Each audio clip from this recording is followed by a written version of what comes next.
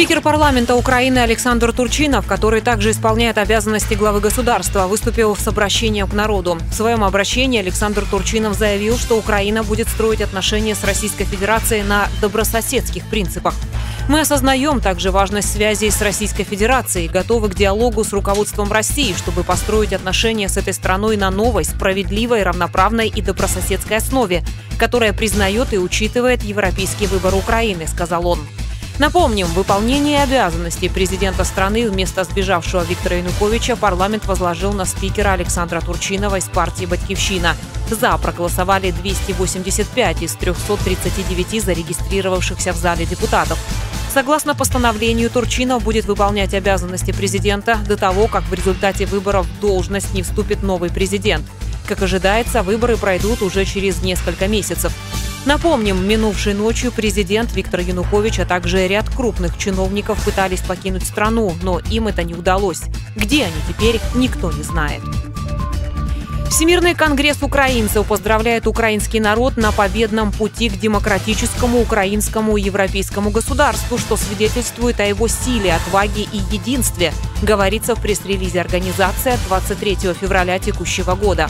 Конгресс также приветствует конструктивную работу Верховной Рады Украины и полностью поддерживает важные постановления, которые она приняла 21 и 22 февраля 2014 года в том числе о восстановлении Конституции Украины 2004 года, досрочных выборах президента Украины 25 мая 2014 года и об освобождении бывшего премьер-министра Юлии Тимошенко.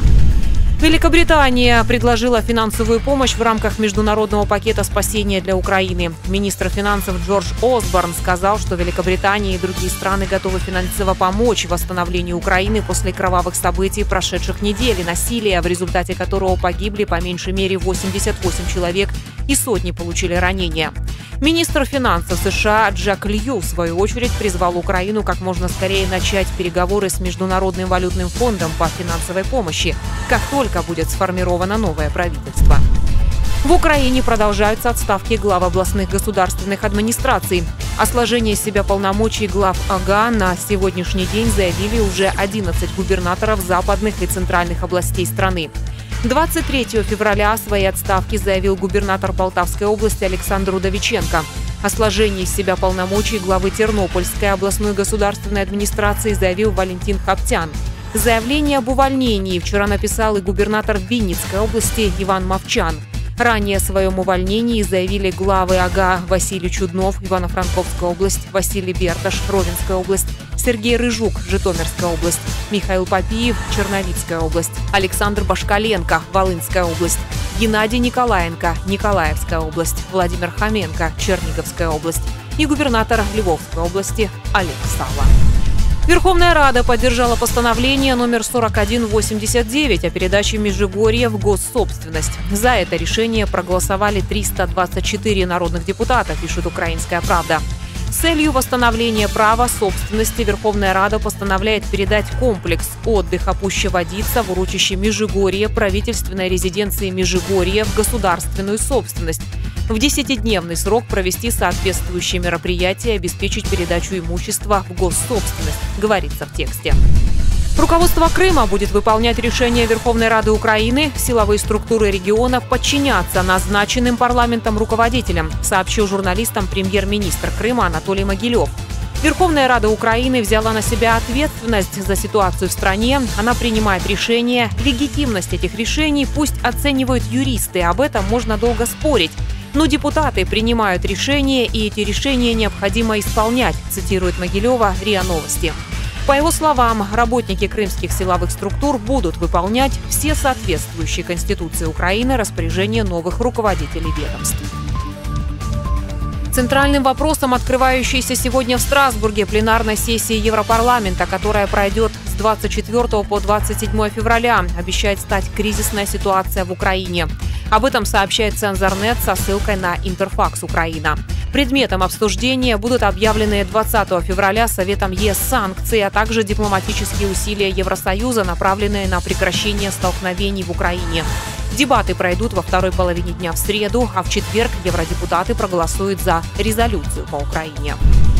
После формирования нового правительства в Украине ЕС готов предоставить Киеву 20 миллиардов евро на проведение реформ, заявил глава Комитета по иностранным делам Европейского парламента Элмал Брок. Мне кажется, что будет 20 миллиардов евро на столе на проведение реформ, эту поддержку можно будет предоставить немедленно для предотвращения дефолта, сказал Брок в эфире телеканала 1 плюс 1 в воскресенье вечером.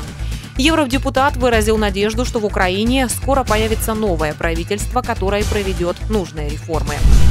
Президент Венесуэлы Николас Мадуро объявил о проведении национального диалога. Это решение было принято на фоне массовых антиправительственных выступлений, в результате которых погибли, по разным данным, до 11 человек. По словам Мадуро, в переговорах примут участие представители всех политических, социальных и религиозных движений – Начало конференции запланировано на среду, однако уже в понедельник венесуэльский лидер намерен провести рабочую встречу с региональными властями, в их числе главный противник президента, экс-кандидат на выборах от оппозиции Энрике Каприлес. В Мадриде прошла многотысячная акция протеста против мер бюджетной экономии. Чтобы вывести Испанию из кризиса, правительство Мариано Рахоя сокращает расходы на образование и здравоохранение, а также намерено вновь внести изменения в трудовое законодательство. Испанцы считают эти меры неэффективными, а Рахой обвиняют в диктатуре и сравнивают с Франко. Опубликованы социологические исследования, которые свидетельствуют, что сенсорные экраны обогнали по популярности куклы, настольные игры и другие традиционные игрушки. Как оказалось, дети предпочитают игрушкам тачскрины. Более половины опрошенных родителей заявили о пристрастии своих детей к мобильным устройствам с сенсорным экраном. Полученный недавно снимок с телескопа Хаббл запечатлел звездную систему, которая находится на расстоянии более 13,5 миллиардов световых лет от нас. Этот факт делает обнаруженное звездное скопление кандидатом на самую удаленную из всех известных науке гравитационно-связных систем, которые человек смог увидеть за весь период своего существования на Земле.